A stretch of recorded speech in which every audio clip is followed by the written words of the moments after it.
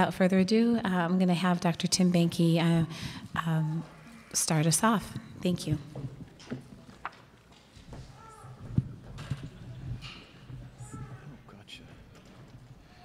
So I wanted to thank um, Catherine and the organizers very much for uh, giving us this opportunity to chat to you today about intractable epilepsy. So first of all, this is my disclosures slide. It talks about the other things I'm distracted with. Um, so here's uh, how things are going to go. So um, I'm going to give you this brief introduction, and then there's going to be an introduction to epilepsy by Dr. Stafstrom. Uh, then I'm going to chat about epilepsy and CDKL5, talk about uh, the literature and our experiences with it so far.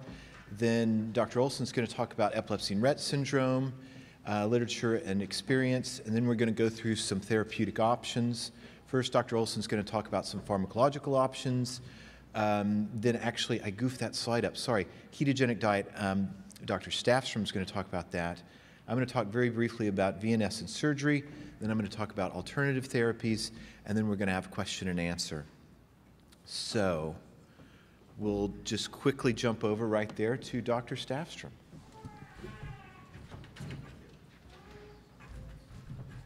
Good afternoon. Thank you very much, Tim, and welcome. I'm glad everybody could have a nice lunch and uh, still make it to the session and be happy. And I'm going to give you a little chat about seizures and epilepsy 101. I don't presume that anyone here has, uh, is necessarily a medical professional, um, but seizures may be something you deal with with children all the time. It's something we deal with every day from a professional point of view, but this is sort of just an introduction to what seizures and epilepsy are, and uh, we can take questions. If it's too simple, you can ask me some hard questions, that'll be fine. This must be the advance. So I'm going to uh, talk about what is a seizure and what is epilepsy, how are seizures and epilepsy classified, and how do we diagnose it, and why do seizures occur, and then uh, we'll uh, segue into how to treat them. And we'll put a spin on this whole uh, talk and session re related to Rett syndrome and CDKL5.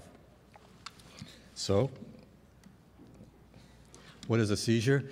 Um, we can define it as an episode of neurologic dysfunction that's caused by abnormal brain firing of neurons. Some people call it a brainstorm. Um, it essentially is hyperexcitability. It's when the brain becomes overexcited and does something, and what it does has to do with the kind of seizure and where it's coming from. And this can involve altered awareness, altered motor control of losing control of your arms and legs, uh, funny feelings in your fingers or toes, or change, even changes in autonomic function like blood pressure and breathing. So what a seizure looks like depends on where it comes from. And uh, will I have a pointer? Pointer.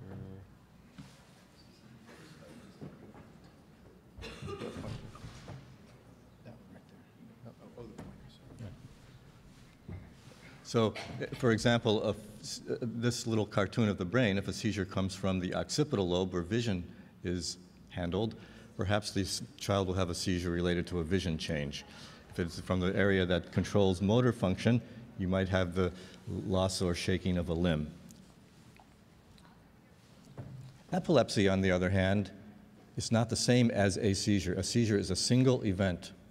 Epilepsy is comprised of having more than one seizure. So if you have a seizure from a fever, high fever, that's not epilepsy. But if you have several seizures that are unprovoked by fevers or other things like that, then you'd say epilepsy. So there is a difference between those two. In addition, we like to describe epilepsy syndromes. And an epilepsy syndrome does involve different kinds of seizures, but it also includes information about a lot of other aspects of clinical uh, detail, such as when it began, the age, what caused it, what the EEG findings are, what the family history or genetics is, what medicines work and which don't, and what happens over time. So an epilepsy syndrome has a lot of information other than just seizure. Seizure is what you see someone do. Epilepsy is more than one seizure with all this other information included. So, how do we diagnose a seizure from a medical uh, specialist point of view? Well, the first and most important way is by history, and that's why doctors may ask you such detailed questions about the event, about when it started, what the child was doing, what happened beforehand, how long did it last, what were the exact details, what did the eyes do? All these questions that might drive you crazy because when you're dealing with a child having a seizure, you're not looking for all these things perhaps. You're just uh, having a kind of a, a what's going on, let's stop it. But that's why we ask all those questions because we want to determine whether the episode was a seizure or not. And there's many kind clinical conditions that mimic seizures but aren't seizures. And in Rett syndrome, that's uh, very, very common. Are the stereotypies, the hyperventilation, some of the tremors, some of the other movements that are abnormal, but they're not necessarily a seizure. So we take history very carefully and spend a lot of time taking histories. Um, perhaps by the description of the seizure, we can determine whether it's a whether it's a focal seizure, it starts in one part of the brain, or starts in the whole brain at once. And does it fit in epilepsy syndrome? Those are all historical features. We sometimes use laboratory tests to diagnose a seizure. Um, there's no single test to do that, but we try to rule out infection as a cause and metabolic abnormalities and things like that. And in the case of Rett, to get a genetic diagnosis. You may be familiar with EEGs. EEGs are brainwave tests, and electrodes are applied in specific locations on the scalp, and then um, the electrical activity of the brain is recorded. And these two EEG examples demonstrate the two major kinds that I'm going to talk about more later, focal and generalized. In a focal EEG abnormality, you will see spikes or abnormal discharges in one specific part of the brain. In a generalized kind of seizure, the, the entire brain is like this pointer right now, is having uh, spikes at the same moment. So those are the two basic types. And then we use imaging, MRI scans, CAT scans, things like that. This is a very abnormal brain scan. You can even see from um, your own perspective all the white spots here that are diffusely located throughout the brain. Each one of those could be a seizure focus or a spot at which a seizure can begin. This particular child has tuberous sclerosis, another genetic disorder, um, uh, but it just illustrates that we use this modality, imaging, to help diagnose seizures. Now, bef because of Rett syndrome and CDKL5, uh, there's a few other concepts I want to mention that are important for our discussion today, later on. One of them is the concept epileptic encephalopathy. You may have heard that word. It's a long uh, phrase. It means that encephalopathy or brain dysfunction is related to the seizures themselves. The more seizures that happen, maybe the worse the cognition gets. And when a child has the second uh, listed, the second listed uh, phrase, intractable or refractory epilepsy, it may be partly from uh, having an encephalopathic or underlying brain disorder. Refractory epilepsy is defined these days as seizures that don't respond to two or more drugs um, and we'll be getting into different treatments for refractory epilepsy later. Finally, status epilepticus is a concept that you would need to hear, have heard about. It's seizures that last longer than five minutes or very frequent shorter seizures in which the child does not recover their uh, normal sense of awareness between each one. So those are just some other concepts that you might hear words on today. Now, very importantly is comorbidities. This is a term that reflects the fact that epilepsy is not just seizures, but it's a lot more uh, clinical problems that go along with the epilepsy. So if the epilepsy was the tip of the iceberg above the water, below the water, which is a large piece of ice, would be all of the comorbidities, the cognitive and mood disorders, the social factors that stigmatize epilepsy, the quality of life which is impaired when a child is having seizures very frequently, and the drug side effects. So comorbidities are sometimes even more critical for the child's lifestyle than the seizures themselves. but clearly epilepsy involves a lot of comorbidities. So to classify seizures into two basic types, focal and generalized, um, I showed you the EEG for each one before. Focal seizure means it starts in one part of the brain and may spread from there, but at least it starts in one spot, whereas a generalized seizure starts in both hemispheres at the same time. And one is not necessarily worse than the other, they're just different. And another term you may see is spasm, such as an infantile spasm. That's a kind of, usually a kind of generalized seizure in which it, rather than it lasting for a long time, it's quite brief, and the abnormal stiffening or, or tonic movement will be held for a couple of seconds. Many children with Rett syndrome have infantile spasms, is why I put that up there as well.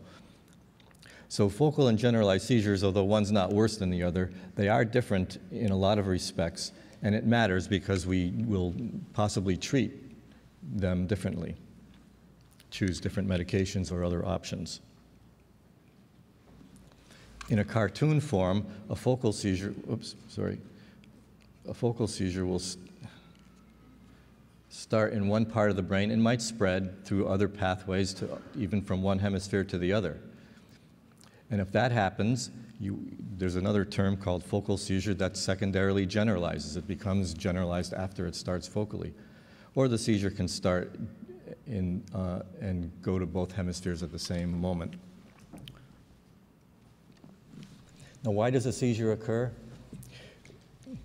We like to think about it as a teeter totter, a balance between the excitation in the brain and the inhibition in the brain. Now, those two words, excitation and inhibition, are rather complicated, but if you think about we all have both of them in our brain. We need both to work. It's usually a balance. If the, if the balance is disturbed, then a seizure could happen. And a, this imbalance would happen if there was too much excitation and or not enough inhibition. And various cellular and synaptic factors will affect each of those too, the excitation and inhibition. Basically, I like to think about seizure mechanisms from the top down, and dysfunction at any of these levels can cause a seizure. So connectivity means how neurons and brain cells are connected together. They're connected by synapses, which are little end, ends of each cell that connect and, and communicate one to the other.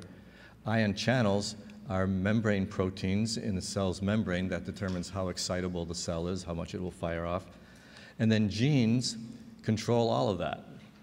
And so from the top down, you can get dysfunction at any level and get neurons to fire in an abnormal way and lead to a seizure. This cartoon shows an example of one single neuron with an electrode in it in an animal, not a, not a human, um, with nice even discharges firing off in a regular manner.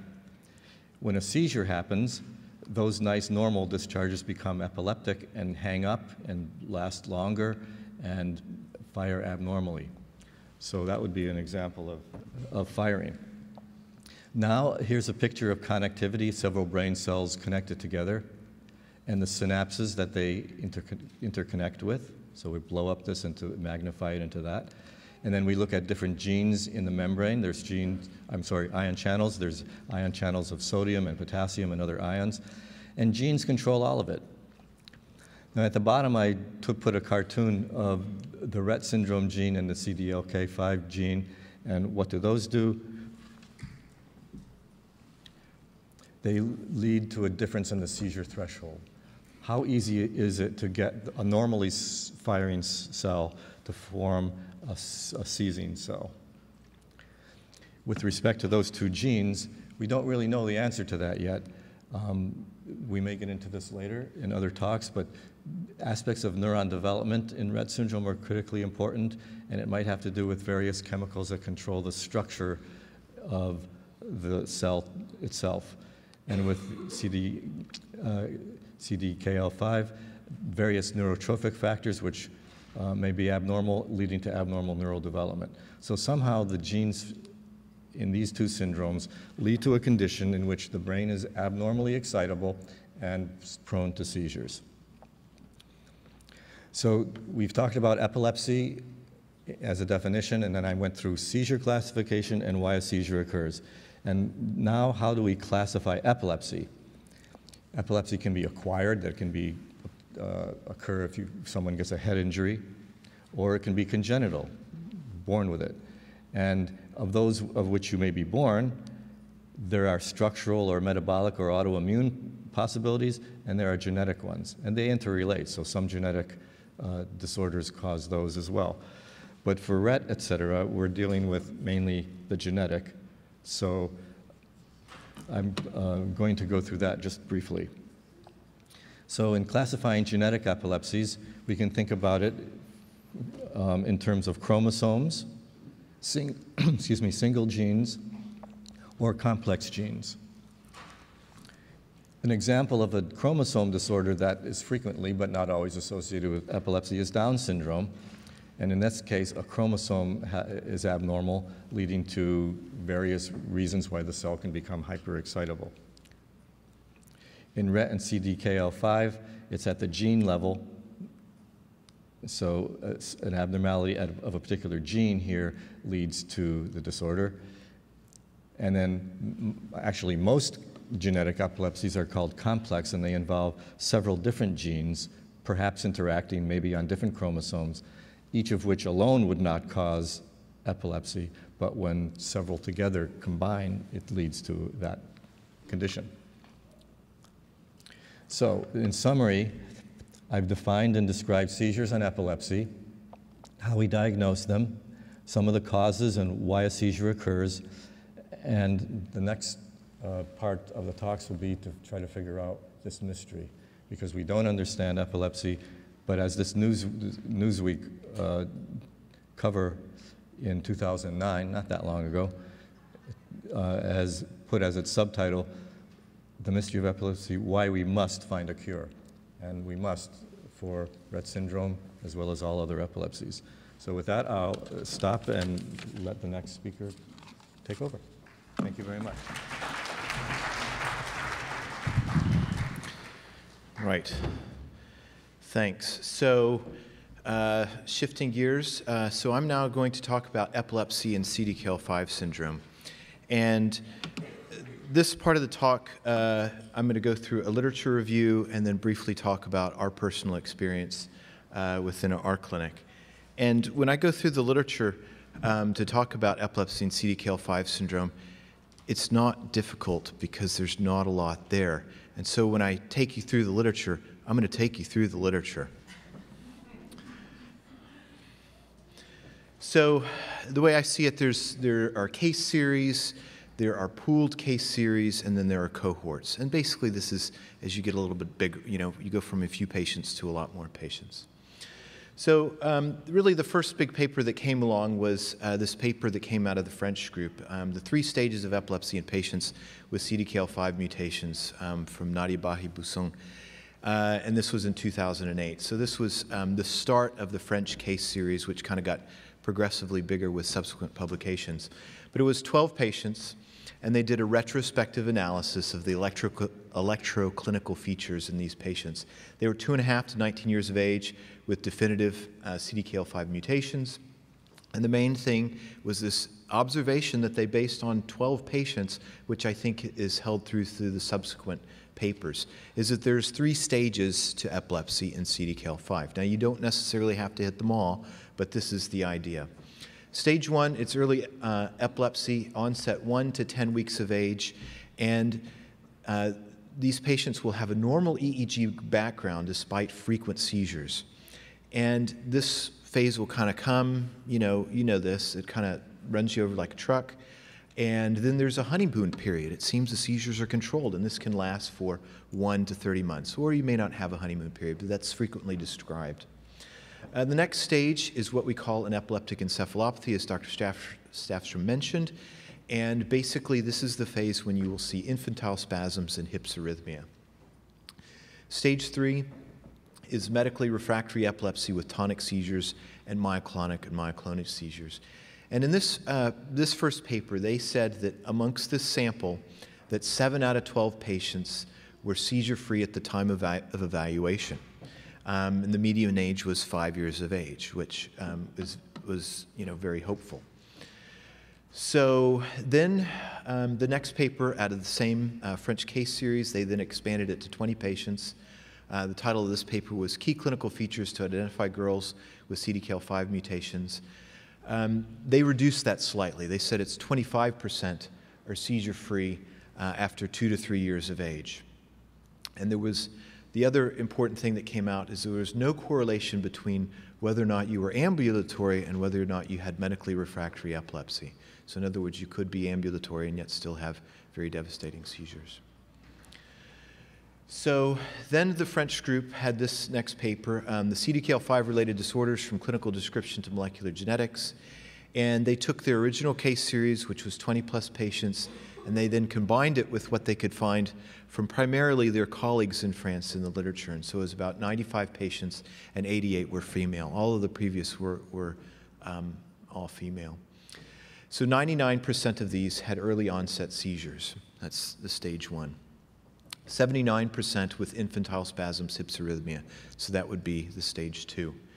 And 71%, now still about the same neighborhood, with uh, medically refractory epilepsy. And they noted that there were, um, now that, that, they had this big group of patients, they could try to make some, some uh, associations with things that they were seeing in this cohort of, of, uh, of patients. So they were noting hand stereotypies, uh, head deceleration, in other words, the head grows well initially, then slows down. 32% were ambulatory. 76% had decreased hand use. Uh, they described 85% with visual impairment, and 12% had language. And what they said is, is that they said that scoliosis was uncommon, GI features were uncommon, autonomic breathing and non epileptic spells were uncommon. Now, this was um, which I, you're all going to raise your eyebrow a little bit uh, on some of these. And what they did say is they said that the ketogenic diet was helpful, um, but didn't really give uh, much more information on that. But they said it was helpful, so that's, that's better than, than not. So there is then there's several been, been several case series, and I'll go through them each for you. Uh, this is the Chinese case series, uh, clinical features, a gene mutational spectrum of CDKL5 related diseases in a cohort of Chinese patients. And they had 10 patients, one of them was male. And basically, the output of this paper was, as they said, that we see a similar course, uh, stage one, two, and three, to the French cohort. Then the next um, type of paper that came out was actually trying to characterize the epilepsy a little bit. And so uh, this is a paper that came out in Neurology uh, by Klein that described a distinctive seizure type in patients with CDKL5 mutations. And they described this as the hypermotor tonic spasm sequence. And they saw this in four out of five of their CDKL5 patients. They noted it was between six months of age and four years of age. And they described it as typically, but not always, it would happen on awakening. Uh, the child would have rocking, kicking, there might be a vocalization, last 10 to 60 seconds, and there were some characteristic EEG features, diffuse delta, low, low voltage fast. So those are um, the fine EEG points uh, that we like to take note of because it helps us characterize things. Then this was followed by tonic extension, uh, lasting 20 to 45 seconds, so that means like this and somewhat rigid. And the EEG showed attenuation with low voltage fast. And this would then be followed by extensor spasms, um, lasting 1 to 15 minutes and these spasms would have high voltage sharps and slows, followed, each one followed by an attenuation. So then there was, um, this is a paper that actually came out of the Italian group, CDKL5 gene-related epileptic encephalopathy, electroclinical findings in the first year of life. And they um, described six infants, and two out of the six, they didn't use the same terminology, but reading it, it gave me the same flavor that these actually had uh, similar features to the earlier paper with what I'm going to abbreviate as HTSS. So then um, there was a US case series. Uh, this was actually out of um, the uh, Mayo Group. Uh, historical, clinical, and prognostic features of epileptic encephalopathies caused by CDKL5 mutations. So it was six patients. Again, you know, you're feeling the theme here, not a lot of patients. They noted the similar three stages as the French uh, group. In their experience, all of them had stage two, which is infantile spasms with hypsarrhythmia. And this was the first paper that really didn't, that said that they actually have visual impairment and really said this is, it's really there, whereas the other papers were a little uh, wishy-washy on it, I, I think, um, and delays. They said that all of their patients actually had refractory epilepsy. And in terms of what might help the seizure frequency, though not making it go away, is they said topiramate, vigabatrin, and the ketogenic diet were again helpful. But they, it was in, in those terms and not specifically giving us numbers of like what was the seizure reduction in what population of patients. And that's what we, that's what we really want to know. So then there was uh, a German case series, again very small. Um, CDKL5 mutations is a cause of se- severe epilepsy in infancy, clinical and electrographic long-term course in four patients. Again, it was four patients, um, but they noted the, the similar progression. They felt that um, 75% had medical, uh, medically resistant epilepsy, and they noted this other phenomena to add into the mix, is that a number of their, one of their patients actually had very late hypsarrhythmia. Normally, we think that hypsarrhythmia is going to go away uh, by one year of age if you have it, you know, maybe two. Um, but to see it in a nine year old was quite unusual, and so they, they reported that. Now, this was um, a retrospective evaluation of anti epileptic drugs in patients with CDKL5 mutations, and this is the best um, set of numbers that I've been able to find. I, I, I, ran across this at the American Epilepsy Society meeting in uh, San Diego in 2012. And it was 34 patients, it's a German case series. And just to draw your attention to the, to the red circles here, basically, if you look at the, at the list, you'll see that everybody is showing up to the party here as far as anticonvulsant drugs. And we're not seeing big numbers over here about responder rates after three months, and the numbers are quite low after six months as well. And one of the issues that they didn't talk about, it was just a poster, you know, not a full paper, and still hasn't come up in a full paper yet, is it's not clear how many of these patients actually achieved a honeymoon or not. But then one of the other things to think about is, is ACTH is typically not prescribed for much longer than uh, four to six weeks anyway. Um, so that, that one's a little hard to uh, understand there. Um, they noted that only one out of the 34 patients was seizure free, um, but was for quite long, for nine years.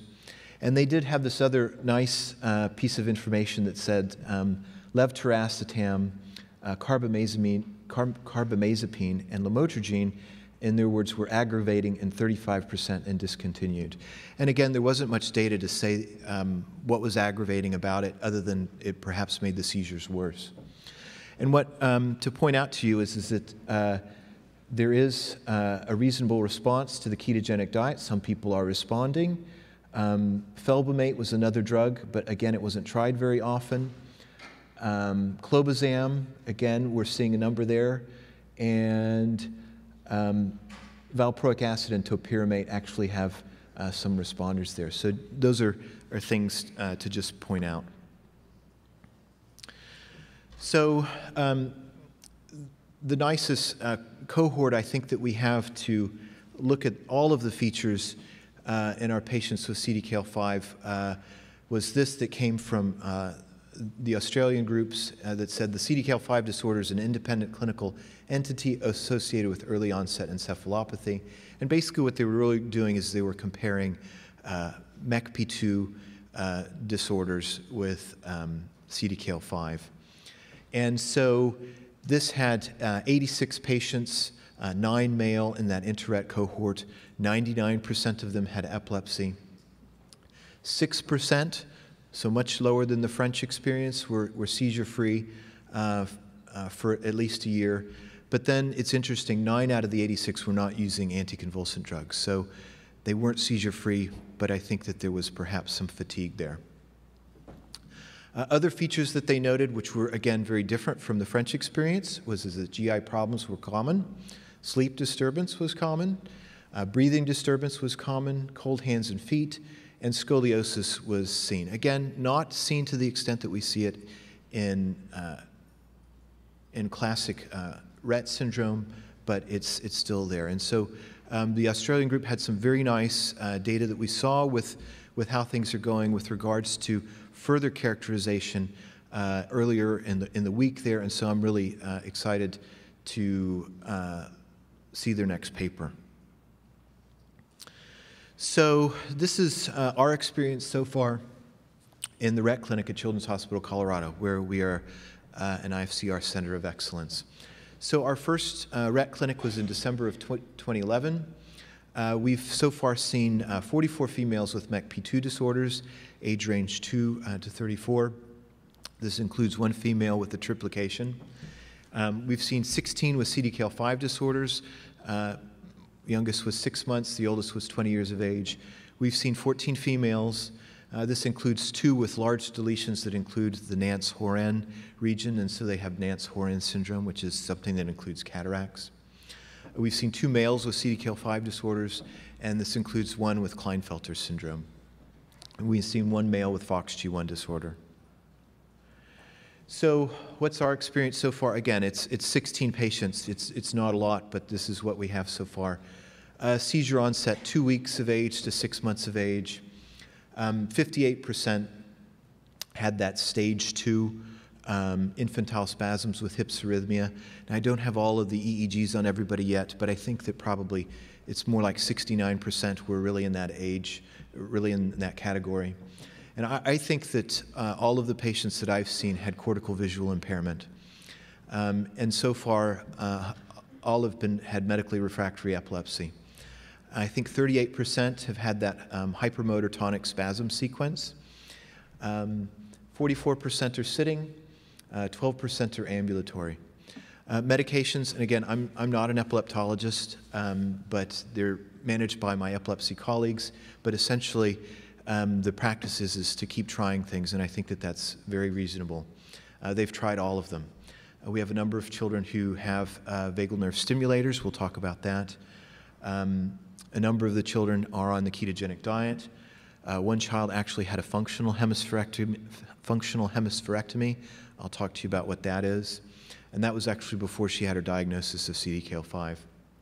And again, I'm not going to be very helpful to you, but I am going to suggest that I, what I think that we're seeing is, is that the combination of valproic acid and clobazam might be helpful. Um, again, I think as we move forward, when we get more data, I, I would hope to give you something more definitive on that. So, um, in summary, the things that I've gone through as I've talked about those three stages of epilepsy in CDKL5, uh, typically it's medically refractory, and there's some common features and patterns. There's an abnormal EEG background that develops, though it's normal initially. Uh, we see a lot of infantile spasms and hypsarrhythmia. We also see this characteristic that has not been described in other epilepsy syndromes called the hypermotor tonic spasm sequence, and there's late hypsarrhythmia. So I will now shift gears again, and so we'll go. Oh, sorry, not yet. So here's what I think we would like to know. Well, we need larger cohorts for natural history. Um, we think that it would be very nice to have um, some findings on history and physical exam or biomarkers for epilepsy and development so we can try to make some predictions. So if we see this, we can expect this so that we can counsel you better.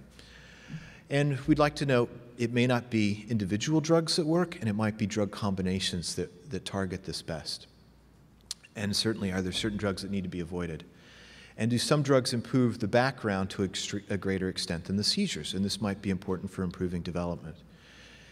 And is epilepsy really more severe in males? And I think, you know, so far there's a suggestion that um, we're not seeing the males because we're not testing them enough. And so there's probably some ascertainment bias. And uh, there is the suggestion, again, you know, we're dealing with very small uh, numbers. This is that uh, epilepsy might improve in specific populations, and it might have something to do with mutation. Uh, in the French group, they've seen that patients that have the R550X mutation is, is that their epilepsy might get better. So that's two patients. So it's, it's hard to, um, I think, you know, we all want to be hopeful, but um, it is what it is. So. So uh, these would be our specific aims and hypotheses um, for um, the centers of excellence as we move forward um, with, with Heather and Walter and and Sumit in the, the three different clinics. And then amongst all of the groups, we would like to extend this out uh, as best we can. And the idea is first that longitudinal, very structured evaluations can define the natural history of Rett and CDKL5 syndromes. And our plan is, is to perform these structured evaluations on our patients. We think that structured laboratory, MRI, EEG, et cetera, data collection obtained from these clinical uh, evaluations will define biomarkers that can possibly predict the clinical course. And we're going to do this in all of our patients. And we think that uh, having this is going to be very necessary when we do our future clinical trials, because that's where we think that we need to go. And we're all going to do our best to serve as sites for these trials. So, um, this is, I think, an issue that you're all aware of that uh, only the right dose differentiates between a poison and a remedy. And really, the summary is, is we have a lot of work to do here uh, with our natural history studies and hopefully clinical trials in the near future. So now I'll shift over to Heather.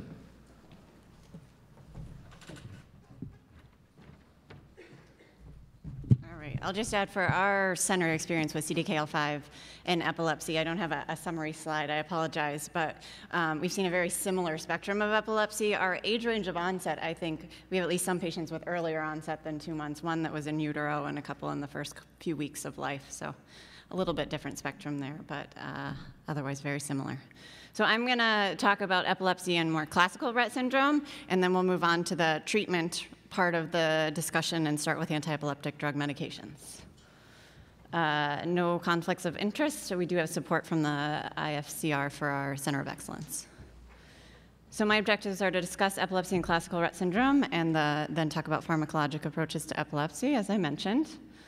Uh, so epilepsy and classical Rett syndrome. Uh, typically, we think of in classical Rett syndrome epilepsy having onset in childhood, rarely before two or three years of age, in contrast to what we just talked about in CDKL5, um, and rarely after 20 years of age. The prevalence in different series varies um, a fair amount, but it seems to be around 80 to 85 percent, um, most reliably, uh, and it's possibly less likely to be drug resistant than the um, looking at the epilepsy population broadly, at least in, a, in one uh, published series and also supported by some recent literature from the InterRett database, um, which is a database for uh, classical Rett syndrome, maybe around 16% versus the whole epilepsy population around uh, 20 to 40%. But there are other series that say it is around 30%, so hard to know for sure.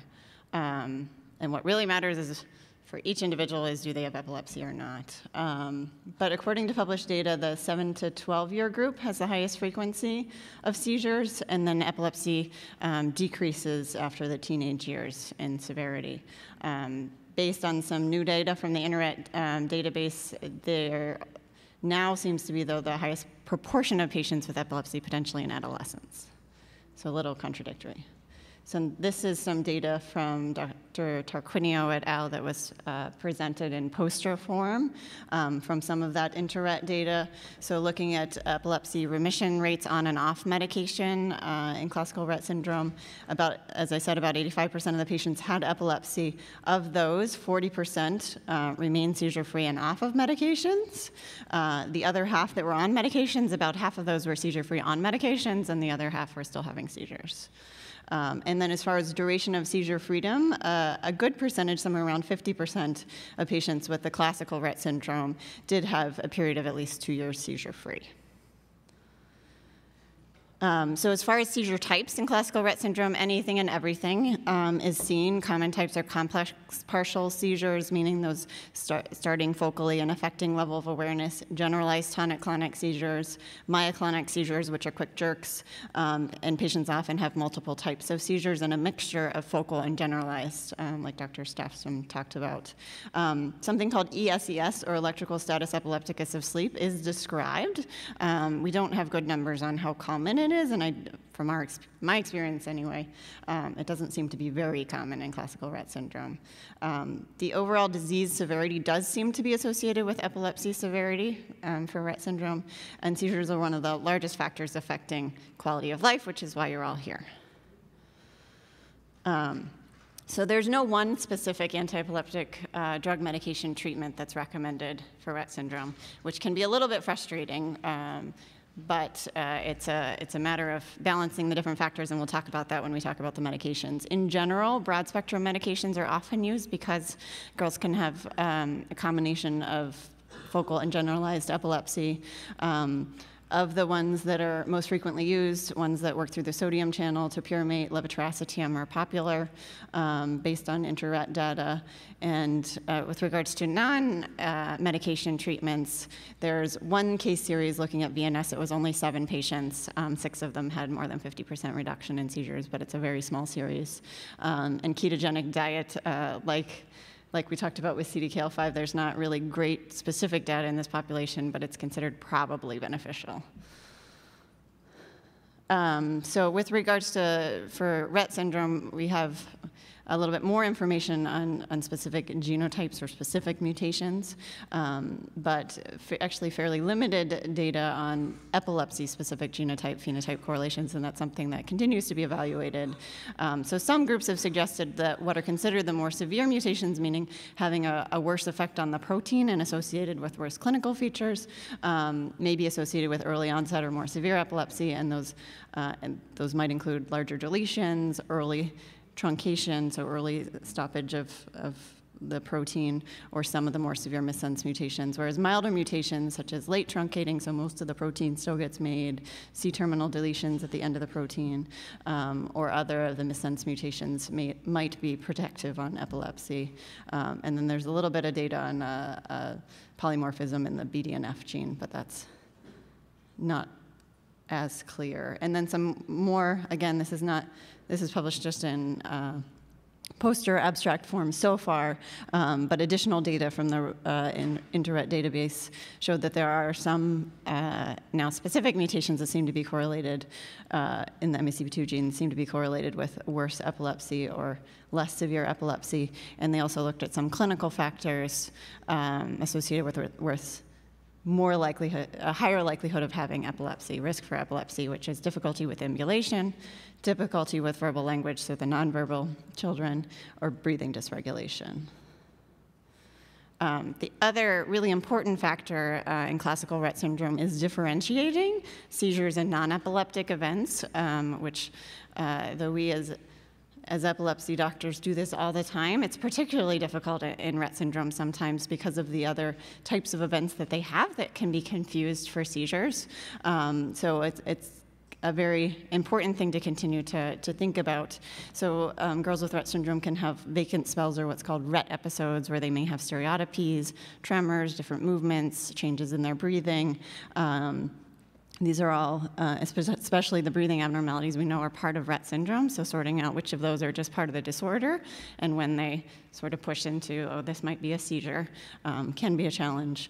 Uh, motor abnormalities as well, well repetitive movements, um, different kinds of increased tone like dystonia or rigidity or low tone, if kids suddenly get hypotonia or low tone or tremors, um, and then episodes of screaming or laughing, again, common in Rett syndrome, um, can be mistaken for seizures, or it can, you know, maybe they are seizures and it's just hard to differentiate.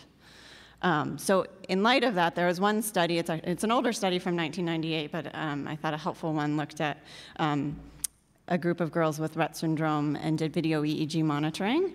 And in those patients, 42% reported um, with, with epilepsy uh, had events during the EEG monitoring that were thought to be their typical seizures, but did not have any correlate on the EEG, so they electrographically didn't look like they were seizures.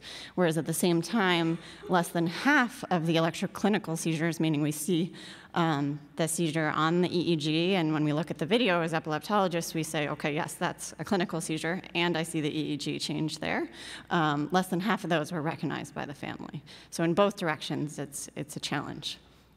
Um, and then the other thing to be aware of is non-convulsive status epilepticus, which we'll talk more about in the next section. Um, but it can be difficult to identify and um, confuse with these Rett spells or other stereotypical behaviors. So you want to have a high level of suspicion. I won't go into depth about the EEG details, um, but the big picture is that based on the stage of classical Rett syndrome, there are changes that are typically seen in the EEG patterns, starting with in the early stages, fairly minimal changes, maybe just a little bit of slowing, then evolving to some um, epileptiform features or spikes that can be kind of the fingerprint of epilepsy, um, and worsening of that EEG background, loss of some normal sleep features. And then it's in the third stage, in sort of mid childhood, where we see the changes on EEG that we consider very typical of Rett syndrome. They can be seen in other neurodevelopmental disorders as well, but this classic, and I'll show you what it looks like. Um, rhythmic theta slowing that seems to not change with breathing patterns or other um, factors is, a, is, typical of classical Rett syndrome, and it's usually seen more in the childhood years and can persist into the later stages as well, but not always. So this is what, um, looking at an EEG here, um, what that persistent, if you can see there's, there's the rhythmic activity throughout that. This is only a 10 second page. It's not a long recording, but it continues for, for longer than that, and it comes and goes throughout the 24 hour period, not necessarily associated with any particular triggers. Um, this is just an example of some epileptiform activity or spikes on an EEG. And this is another example of a mixture of what we call generalized, meaning spikes that cover the whole page there, and some focal spikes that are in particular areas, and there are different areas on this page. And this is an example of uh, sleep in a patient with Rett syndrome that um, I didn't put up the comparison for you with normal sleep features, but it's lacking some of the features that we would expect to see in this stage of sleep. Um, so this is just a little more discussion. I can skip over some of this about those central theta rhythms. They're sort of different theories on why they exist, but the, the bottom line is we don't actually know for sure, but it's a feature of the disorder. Um, the, the slowing that we see, what we do know about it is it's not related to hyperventilation. So, so normally, when any of us would hyperventilate, if we had an EEG on, we would see that our brain electrical activity would slow down. Um, whereas in girls with Rett syndrome, we actually don't see that, but we see this slowing that comes and goes, unrelated to the hyperventilation. All right, so I'm going to switch gears now and talk about um, anti-epileptic drug medication treatments, um, speaking broadly to epilepsy in general and specifically with regards to both classical Rett syndrome and CDKL5. Um, so for these two disorders, the, the choice of anti-seizure medication, and that's, that's always our, our first step when a child develops new onset epilepsies. We always try medications, and most of the time they're helpful, ex- except that in CDKL5, unfortunately, most of the children end up being refractory to our medications. But we always start with medications, and we pick them primarily based on what are the seizure types that we're trying to target. EEG can sometimes give us clues as to what those, uh, whether it's a predominantly focal epilepsy or generalized epilepsy, and we'll talk more about that. Um, and what are the side effect profiles of the different medications relative to what are the concerns about your child. So it's not a sort of one recipe works for everyone, it's, it's different for each child. So we'll talk about the um, alphabet soup of medications, older, newer. We'll talk about those that work on focal, generalized, or broad spectrum targets.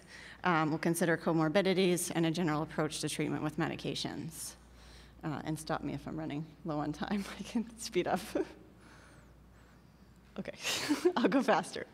Um, so I won't read all of these, but these are kind of the old tried and true medications, which we still use, um, not infrequently. Um, and this used to be, in the older days, all that was available. Uh, and then there are what are considered the newer generation medications, and these are the older of them. Um, the, the first name is the generic name, and the, in parentheses are the brand names of the medications. Um, and the, with this newer, you know, expansion in number of medications, it gives us more options. The newer medications overall have a better safety profile, less cognitive side effects, less potential allergic reactions, but they haven't, unfortunately, changed the rate of um, refractory intractabilityness of, of epilepsy despite having more options. These are the ones that are newer in the, in the recent five years or so in the United States, um, and we're using most of them pretty frequently. The last three on the list are very new and um, still figuring out when we're going to use those the most. Um, so, uh, like we talked about before with focal and generalized seizures, there are medications that are better for focal seizures. Sometimes those can actually worsen generalized seizures. Um, so, in in Rett syndrome and uh, similarly in CDKL5, we often pick broad spectrum medications, broad spectrum meaning they work for a variety of different seizure types, both focal and generalized. Um, and then for infantile spasms specifically, it's a little different than other seizure types. Um, ACTH, which uh, is a steroid, and vigabatrin are top choices for spasms as far as medications go. And then there are second and third line options and non medication options as well. Um, so, in considering comorbidities, again, I won't go over each of these in detail, but each medication has um, things that, for example, some medications work on both seizures and migraines. So if migraines are an issue, you choose those. If weight is either high or low as an issue, medications you may choose to avoid or choose based on, on that. Family history of kidney stones comes into play for some of them. Um, mood or behavior issues, um, for example, Keppra can cause irritability. Um, if there's heart block, you would avoid lacosamide. If there's a short QT interval, which is part one of the electrical rhythms in the heart, you would avoid rufinamide. Um, and then for each medication, there's a long list of, of side effects um, that you would consider. And with regards to each patient, are you willing to take these side effects versus how beneficial is um, the medication to be? And of course, you don't get all of these side effects, they're just risks. Um, so, again, I'll skip over some of these in the interest of time. Feel free to ask me about them later. Uh, and then the other thing to consider is just interactions between the medications. So there are some medications that rev up the liver enzymes and maybe make other medications be metabolized faster, and others that inhibit some of the liver enzymes and maybe increase levels of other medications. Um, I highlighted kind of the key ones in each category, but there's uh, there's overlap, and you always want to think about how medications interact with each other. Um, and one separate from enzyme inducing, there can be other direct interactions. For example, uh, valproic acid in inhibits the clearance of Lamictal. Um, so if you stop valproic acid, you actually need to double the dose of Lamictal. It's a more direct, quick interaction. Um, then there are rescue medications. Uh, so in the out-of-hospital setting, you're probably most familiar with Diastat. That's what, what we use most frequently. Um, it's a rectal form of diazepam. Some countries are using more nasal midazolam, and it's starting to be used a little bit in the US, but isn't available in a reliable form right now. Um, and sublingual Ativan is sometimes used as well. And then in the in hospital setting, we use intravenous, intramuscular, or intraosseous if we can't get those options, um, Ativan or diazepam, and specific protocols for status, which we'll talk about later. Um, so, factors to consider when you're choosing an antiepileptic drug medication are the specific seizure types, the side effect profiles of the medications, um, drug drug interactions, the mechanism of action, and how it um, is favorable or unfavorable with other medications, and whether you choose broad spectrum versus focal medications. Um, the need for laboratory monitoring can be important. If it's very hard to get laboratory tests for a patient, you may try to choose something that it's less critical to get frequent um, monitoring for, uh, and what form the medication is available in, and how that'll work for your child. So, um, as a general approach, whenever possible, we make one change at a time. We titrate medications to affect tolerance and levels. Um, if it's ineffective or intolerable, you want to wean the medications. Consider possible synergy and mechanisms of actions. Seizure tracking systems can help us um, so that we have a reliable um, tracker of how, how much we've improved or not improved on, on different medications. Um, and when it's refractory to medications, consider other options. Uh, and like I said, there's not one recipe for each patient. It's really very individualized. Um, and we hope going forward that there will be choices that are more specific to the underlying disorder. But right now, it's um, based on the factors we talked about.